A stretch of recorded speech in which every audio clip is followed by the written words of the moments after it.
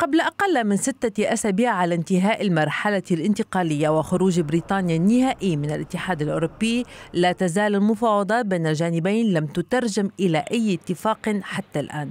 والتأخر في التوصل لاتفاق بشأن العلاقة المستقبلية بين لندن وبروكسل يضع المستثمرين أمام عدة سيناريوهات من شأنها التأثير على التحركات في الأسواق المالية.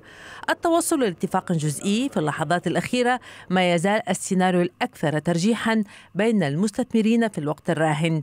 ورغم أن هذا السيناريو قد يقلل من حدة المخاوف بشأن مستقبل الاقتصاد البريطاني فإن تداعيات وباء كورونا تزيد من تحديات تعافي الاقتصاد.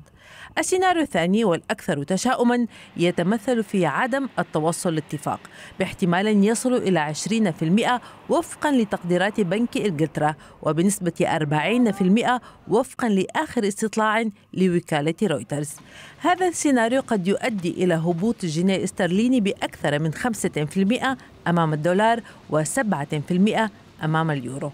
السيناريو الثالث وهو الأفضل يتمثل في التوصل لاتفاق شامل بشأن العلاقات التجارية والاقتصادية بين بريطانيا والاتحاد الأوروبي.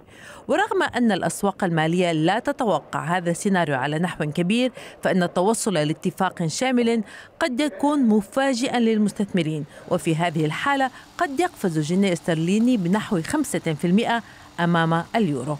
سيناريوهات مختلفة في وقت عصيب يمر به العالم والجميع يلعب على عامل الوقت فهل يخرج اتفاق بريكزيت إلى النور قبل انقضاء عام 2020؟